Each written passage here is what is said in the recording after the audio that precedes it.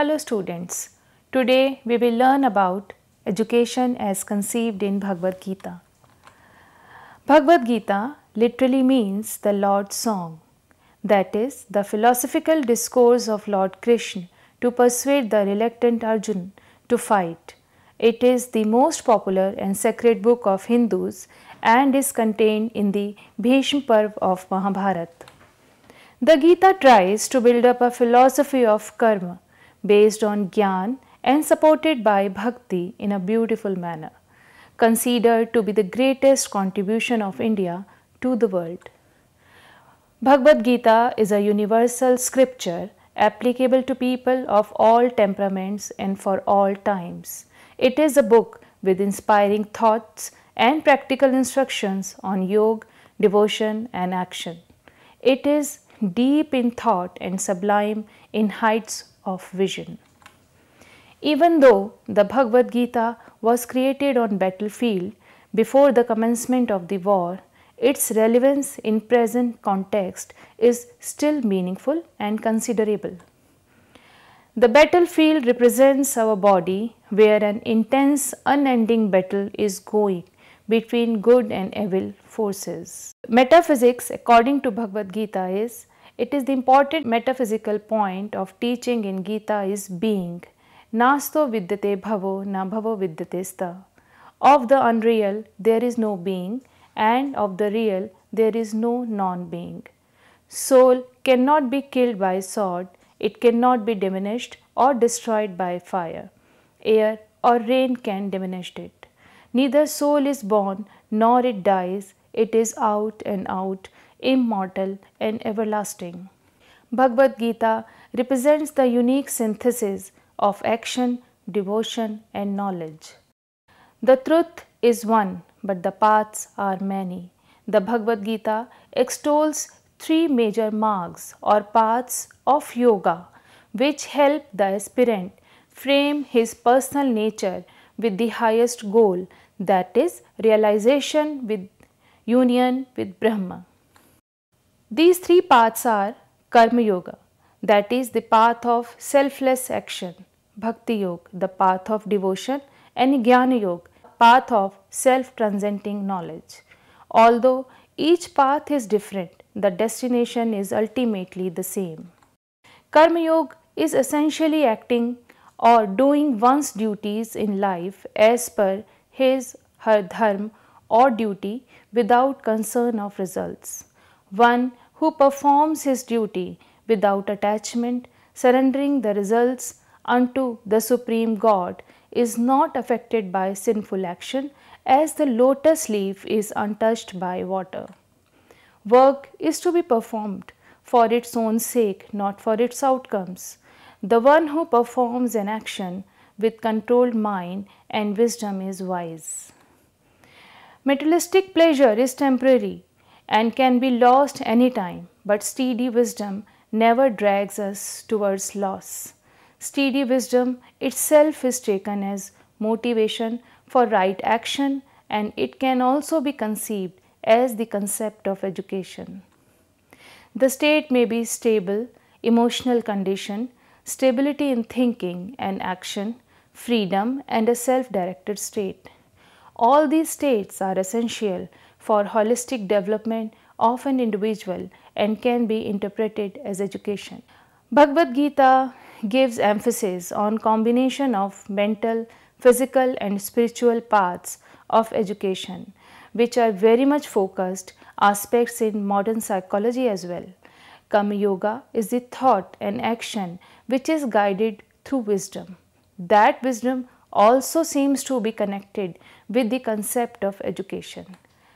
Bhakti Yoga is based on the doctrine love is God and God is love, regarded as the most direct method to merge in cosmic consciousness. When the Bhakta is blessed by divine grace, he feels an undivided union and non dual consciousness prevails. Through prayer, worship, chanting, and ritual, one surrenders himself to God Bhakti may be defined as disinterested service to God, so it is a form of karma. The Lord Himself lifts up his devotees from the ocean of birth and death. Now the third is Jnana Yoga. Lord Krishna reveals how spiritual knowledge is received by disciplic succession and the reason and nature of his descent into the material worlds. Here he also explains the path of action and knowledge as well as the wisdom regarding the supreme knowledge which results at the culmination of two paths. Jnana Yoga we can consider it according to some psychoanalytic insight. Krishna says the sage does not hug desires when they arise, nor does he agitate the mind to create them. He is indifferent to them. Arjun intervenes and asks, if you think the path of understanding is better than the path of action that is karma yoga, then why do you urge me to fight? I think you have only confused me by this teaching. Tell me for certain which path I should follow. To Arjun's questions, Krishna replies, One may lead a life of contemplation or a life of action. Both properly done lead one to enlightenment. But one must understand that freedom from work is not gained by abstaining from work. By mere renunciation of work, you do not attain perfection. It is impossible to maintain even one's life without doing some work. Epistemology according to Bhagavad Gita As per Gita, yoga is essentially and predominantly the path of knowledge. The yogi's ideal is self realization, that is, state of purified and controlled mind purified intellect, strong determination, and lost state of false ego, pride, anger, and greed. This cannot be attained without knowledge. Position of self realization is the situation of Vidya, that is, education. Salvation is also very important. Salvation seems to be the purpose of teaching of Bhagavad Gita. Every human in this world is in need of salvation from the type of experience they are gaining. Students in school need salvation from fear, terror, and punishment of teachers and pressure from parents. Every human in this world is in need of salvation from the type of experience they are gaining. Other people involved in different activities are in need of salvation from violence, conflict, pride, ego, tension, poverty, ignorance, etc. The sick are in need of salvation from disease and older from the death. Those with disciplined mind, free from desire and anger, who live in constant contemplation of the self, are assured liberation unto the Supreme very soon. This supports that those who are free from anger, who are self realized, self disciplined, and constantly endeavoring for perfection are assured of liberation in the Supreme in the very near future. Hence, salvation can easily be incorporated with the meaning of education. Bhagavad Gita gives axiology as action is better than inaction. Life depends upon action as none can remain just inactive for a single moment. Inaction is death Action are our sphere, fruits are not our concern. We should never be attached to the fruits of action and at the same time we should never be inactive. Arjun got mentally depressed when he saw his relatives with whom he has to fight. To motivate him, the Bhagavad Gita is preached in the battlefield Kurukshetra by Lord Krishna to Arjun as a counseling to do his duty. Krishna helps him to see the whole epitomized in one individual Krishna, that is God Himself. Krishna tries to help Arjun to see point that he means Arjun cannot kill anyone's soul which resides in the Brahma means God Himself. So, education is the process of performing one's own duties for the attainment of peace, joy, satisfaction, and salvation, being rid of the three rats lust, anger, fear with steady mind and wisdom. Meaning of education in Bhagavad Gita is the Bhagavad Gita is known as an instructional module, the philosophy of life and psychology obviously has the meaning of education. We may derive the true meaning of education through the virtuous knowledge, means sattvic gyan, as emphasized by Krishna. Virtuous knowledge is that through which we perceive unity in diversity and sense the Brahma, that is God or Parmeshwar, in all the creatures on this earth. True education would provide children not only an intellectual simulation but also a real purpose in life. According to philosophy of Gita, the state when a human is free from the three wraths, lust, anger and free is the state of attainment of knowledge and wisdom.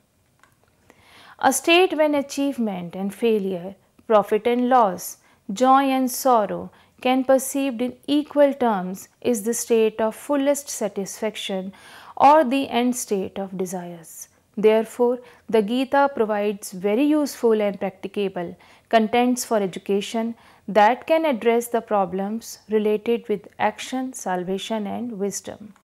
In order to formulate the principles of education, the divine teacher Lord Krishna has not imparted his wisdom to his student as mere dictation like others. The Gita answers the why of such education. The human child in this world is not a tabula rasa or an empty being. He inherits the certain tendencies, instincts, propensities of character mental dispositions, etc. from his past life. Parents give to child only his body, but his physical apparatus and soul's doing are his own. This explains individual difference. The Bhagavad Gita reconciles metaphysics and physics, nivritti and pravritti, psychical entity and hereditary and environment of men and gives the principles of education clearly indicating that education is spiritual social necessity. It is a value and its structure cannot be built on sand. Objective of education according to Bhagavad Gita should be development of virtual knowledge, development and modification of personality means development of all round personality, adjustment in individual and social aims Individual should have social aims. Uh, he should realize his duties towards the society.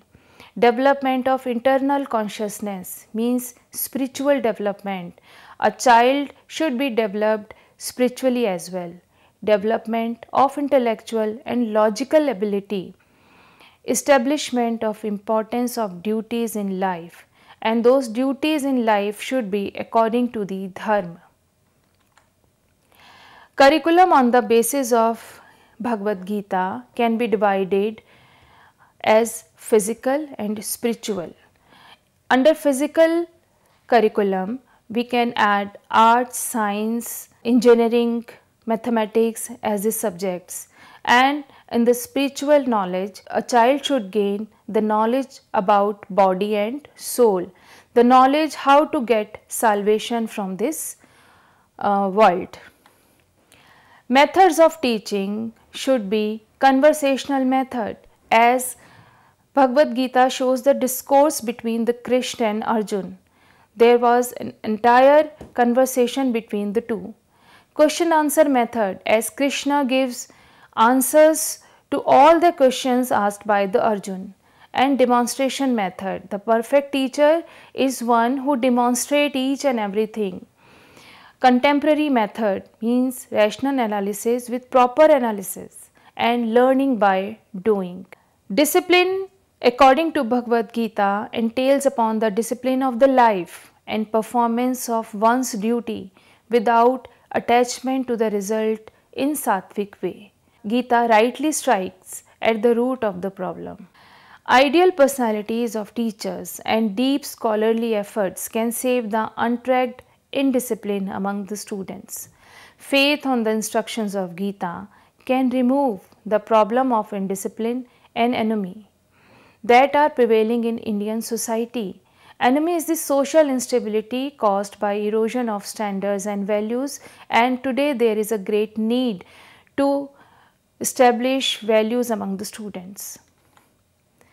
Teacher must teach his subject with great competence, but when the issue of judgment is involved, he should let the student free, as Arjun was finally left to decide himself whether to fight or not.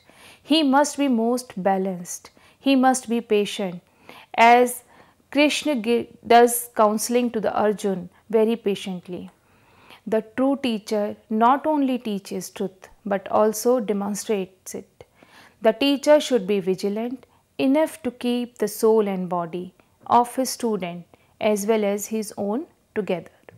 Student should be not a disciple but a learner.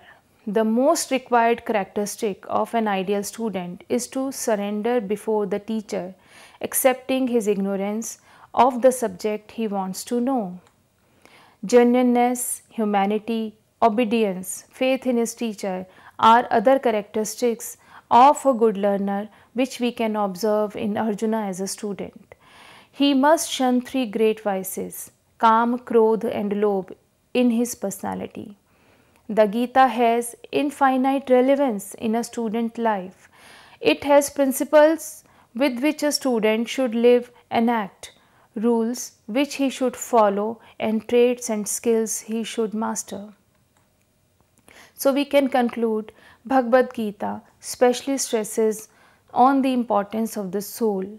The Lord says that this body is perishable and the soul is not perishable.